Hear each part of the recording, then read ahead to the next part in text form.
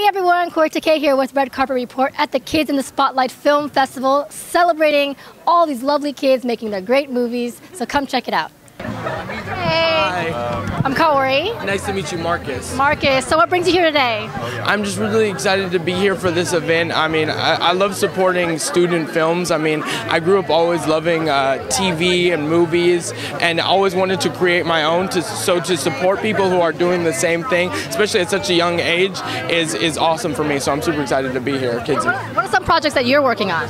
Oh, right now I'm on obviously the TV show Blackish. Yeah, um, I'm. Al- I also have an upcoming Pixar movie that I do a voice in that comes out uh, November 25th, Thanksgiving, called The Good Dinosaur, which is a Pixar film, and I'm super excited for that um, because it was so different from my normal roles. So I'm really excited. Was there any challenges making that leap from being an actor to a voice actor?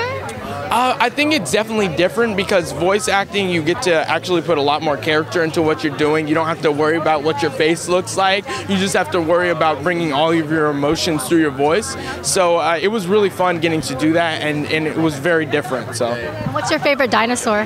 my favorite dinosaur, I really like pterodactyls because they're they're able to fly and they're also kind of birds of prey. So it's pretty cool. Yeah. Awesome. Well, thank you so much and have fun today. All right, you too. Yes. Thanks for watching and don't forget to rate, comment, and subscribe. And if you comment, let me know what was your favorite movie.